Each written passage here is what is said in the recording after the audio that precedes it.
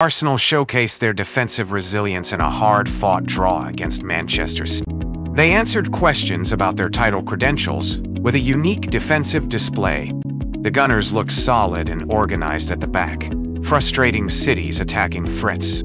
This performance highlighted Arsenal's improvement under Mikel Arteta. The team's defensive discipline was on full display, limiting City's goal-scoring opportunities.